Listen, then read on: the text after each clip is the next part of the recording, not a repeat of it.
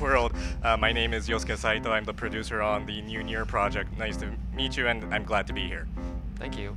And then uh, to his left, we have the incredibly talented Yoko Taro san desu. Yoroshiku onegaishimasu. Yoroshiku onegaishimasu. Hello everybody. It's great to see you. I came all the way up.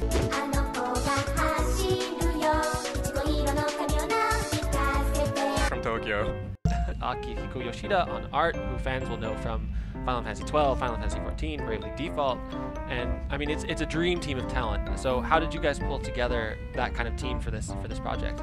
では、えっと、つばしクリエイター陣は揃ってると思いますけども、あの斉藤さんや横尾さん以外にも、あの、そっちが全然 got in the wrong, wrong、uh, out there。えっと、斉藤さんや横尾さんや、さ次やるからには私としてもその納得がいくチーム開発チームをやっぱ作りたいと思って、まあ、その中でキャラクターデザインをさせていただいたらやりましょうって言っていただいたので本当にこちらとしては非常にありがたいなと思ってます。